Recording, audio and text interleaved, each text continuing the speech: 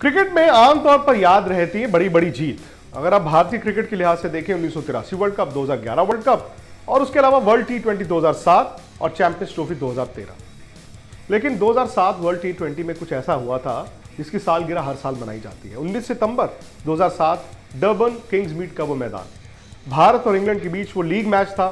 जो टीम जीतती वो जाती सेमीफाइनल में, जो टीम हारती वो बाहर हो जाती। लेकिन इस कहानी की पटकथा उससे कुछ दिन पहले लिखी गई थी इंग्लैंड में। क्योंकि भारत जब वर्ल्ड टी ट्वेंटी खेलने गया साउथ अफ्रीका, उससे ठीक पहले इंग्लैंड में वनडे सीरीज़ खेल रहा था। आखिरी मैच था ओवल के मैदान में। युवराज सिंह बॉल कर रहे थे और इंग्लैंड के ऑलराउंडर थे डिमिट्री मैस्ट्रेहेनस वो बैटिंग कर रहे थे। उन्होंने युवराज सिंह को पाँच गेंद में पाँच छक्के मारे। हालाँकि भारत ने उस मैच को जीता, लेकिन युवराज सिंह अंदर से इंसल्टेड फील कर रहे थे और पाँच छक्के जब पाँच गेंद में खाते हैं तो फिर लोग मज़ाक तो करते ही हैं।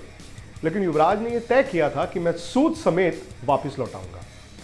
फॉरवर्ड आइए आप 19 सितंबर 2007 वो मैच जहाँ पर भारत को शुरुआत बड़ी अच्छी मिली। 136 रन गंभीर और सहवाग ने बोर्ड पर लगा दिया जल्दी जल्दी, लेकिन फिर भारत की विकटें गिरी और रन रेट भी गिर गया। अचानक से युवराज सिंह पर ही आ गई सारी बात। और युवराज के लिए एक अच्छी बात क्या हुई कि जब वो बैटिंग करने गए, हालाँकि उनके लिए उस वक्त वर्ल्ड टी ट्वेंटी ठीक ठीक ही चल रहा था लेकिन जब वो बैटिंग करने गए तो एंडू फ्लिंटॉफ, इंग्लैंड के ऑलराउंडर, इनके बीच नोकझोंक हुई। आपको याद होगा कि फ्लिंटॉफ गए, फ्लिंटॉफ ने उनको काफ़ी कुछ कहा, युवराज सिंह ने कहा भी बताता हूँ। और यहाँ युवराज सिंह के सामने थे स्टुअर्ट ब्रॉड। स्टुअर्ट ब्रॉड की पहली गेंद पर छक्का, दूसरी पर छक्का, तीसरी पर छक्का, चौथी पर छक्का।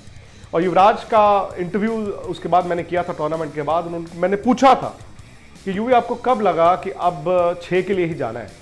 तो उन्होंने कहा, जब मैंने चौथा छक्का मारा तो मुझे याद आया कि पाँच तो मैंने खाए हैं तो पांचवा तो मारना ही मारना है। और कहते जब मैं आई वॉज़ ग्रोइंग अप तो मैंने रवि शास्त्री के छह छक्कों के बारे में सुना था और संदीप पाटिल के ओल्ड